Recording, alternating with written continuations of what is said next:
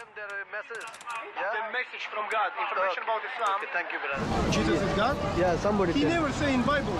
No one place in the Bible. Jesus was Muslim. Oskars ļoti reti parādījās Latvijā. Vai tu tajā laikā nemanīji, vai, vai nebija jums kaut kādas sarunas par to, ka, ka viņam kaut kāda radikālāka uzskata vai, vai Nevaru teikt, ka tā būtu manīts kaut ko tādu. Что такое прекрасная жизнь? Кто может поднять руку и сказать, моя жизнь прекрасна? Tagad tu arī cēlēs, kad saulīt aus. Ne, nekas nav mainījies. Tikai tagad ne, nebrauc makšķerēt. Jūs ja, ja filmējāt pazemoto islāmu sievieti, mums paverdzināto, pazemoto islāmu sievieti neiefilmējāt?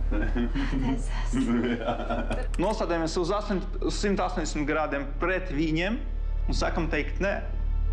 Ar mani nav nekādas problēmas. Tas, kā mēs ticam, tas ir ļoti labi. Un ka, ka, kam tici tu? Šobrīd mēs esam ieguvuši informāciju, ka Latvijā atrodas, eh, ka Sīrijas atvainojas, atrodas vairāki eh, Latvijas valsts piedrīgie. Так почему я туда не уехал? Голова на плечах есть. Поэтому не уехал.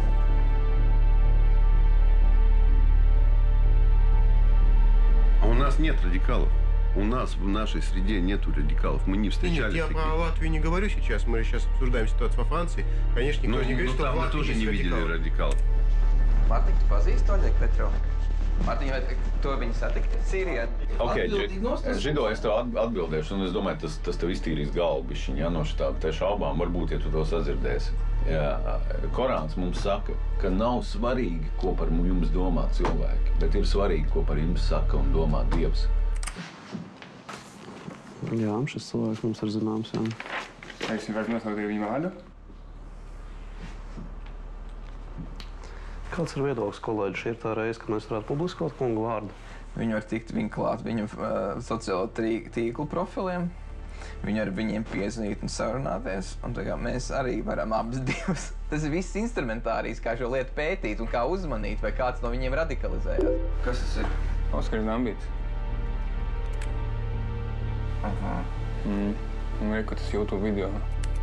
Mani sauc Oskars Dambītis. Un es esmu pieņēmis islāmu. Es esmu pieņēmis islāma reliģiju kā savu vienīgo patieso ceļvedi mūžīgajai pēcnāves dzīvei. Viņi vēl nav ticības brāļi man. Mēs visticamāk nebūsim. Pareizi. Nekad nesaka nekad.